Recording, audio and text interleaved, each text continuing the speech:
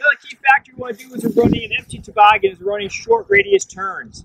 Uh, basically our quick turns. We want to be nice in succession, uh, nice rhythm we're looking for. So we're running a toboggan behind us that's staying in, a nice uh, rhythm with us and isn't sliding out side to side. So we're going to demo here some quick little radius turns. Basically you're taking like a five to six foot swath. You're going to make quick turns back and forth. Here's a quick little demo.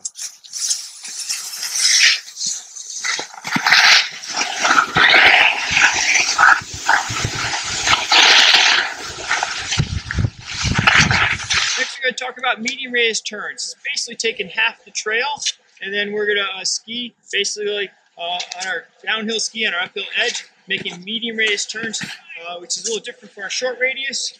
Medium radius half the trail, GS is the full width of the trail. What medium radius turns due to the fact that we may be cruising a toboggan looking for a patient or so.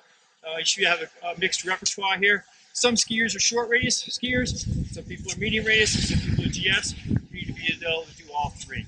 So medium radius turns, half the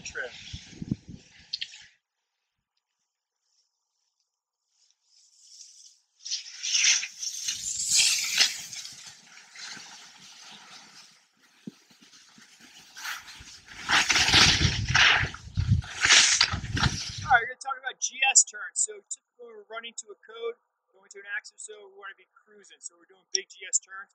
Once again, we'll always be in a position where we're controlling our speed. Um, with a GS turn, basically. We're really putting that, setting that downhill ski, making an arc, and then using the whole trail. Also, we're using that so we can see side to side of the trail. So we're looking for any patients in the woods or anything from that standpoint. So GS turns, using the whole trail.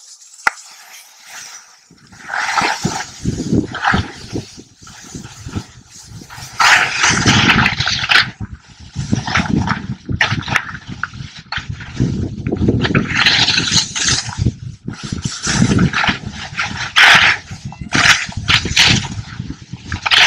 Thank.